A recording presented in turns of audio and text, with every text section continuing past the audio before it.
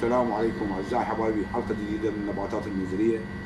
أتمنى لكم الصحة والعافية. حلقة اليوم تتناول نبات يتحمل أقصى درجات الحراره إحنا نعرف إحنا اليوم احتمال يعني آه، درجة حرارة تحت اشعه الشمس. يجوز 60 أو تتعدى 60 لأن أنواع الجويه يعطيها بالمنطقة الفي يعني 48 يعطيها هذا النبات يتحمل درجات حرارة 60 أو أكثر من 60 هاي الشجره شجرة آه، دخلت العراق من خلال آه، الاحتلال البريطاني. جابوها الهنود وياهم. شجرة البمبر أو السبستان الدق. النبات البمبر أو شجرة البمبر شجره جدا جميلة جدا راقية. آه، يوصل ارتفاعها أكثر من 12 متر. يتراوح عمرها إلى 70 عام. هذه الشجرة أعزائي حبايبي تتحمل أصعب الظروف المناخية. تحتاج أشعة الشمس المباشرة. تتحمل العطش امتداد الجذور مالتها عمودية وليس أفقية يعني غير مضرة بالأسجة وبال بالأنابيب المياه. تحتاج قلة السقي بالبداية أول ما تجيبها بارتفاع 70 سنتيم أو 80 سنتيم تداريها سريعة النمو أيضا. تثمر الثمر مالها آه، مادة يعني بالبداية صفار بعدين تعطي اللون البني. الثمر مالها البمبر أو اللي هو يسمى بمبر بفوائد جدا عظيمة.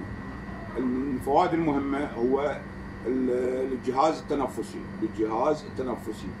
وال يعني هواية امور بالجسم يستفاد منها الإنسان من خلال هاي الثمرة. أعزائي حبايبي إحنا يعني بأمس الحاجة لهذا النبات نكثر من عنده. التكاثر مالته من خلال العقل أو من خلال البذور. العقلة بحدود تقريبا 25 سنتيم أخلي ربعها أو تقريبا نصها بالأرض.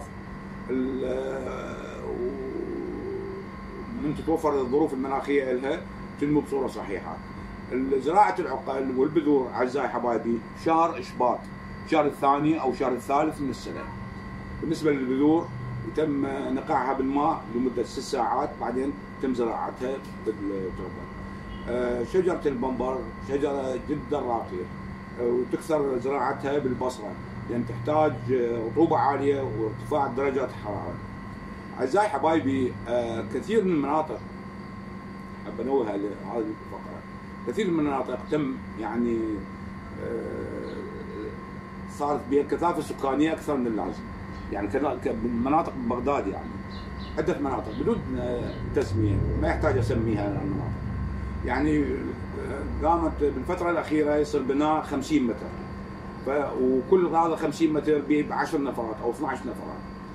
مثلا منطقة نقول كسبيل المثال أي منطقة كثافة السكانية بها عالية توصل مثلا مليونين أو 3 ملايين نسمة.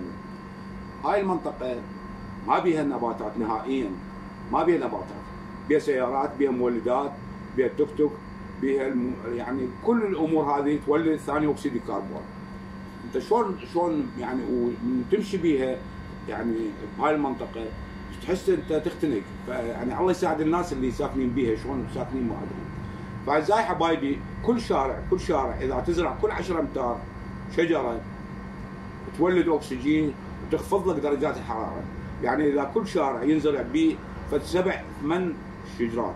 إذا كاليبتوز أو سدر أو المنبر أو أي نبات مقاوم درجات الحراره راح يوفر لك أكسجين ويخفض لك درجات الحراره يعني حدود العشر درجات. يعني إذا الحرارة 50 يصير عندك 40 فيعني أتمنى من الكل أن يشارك بهذا. ولو يعني بعض من الأخوة لهم واهس والبعض لا والله ما لهم واهس بس إحنا علينا ننصح والباقي عليكم. وأنا ممنون أهلا وسهلا.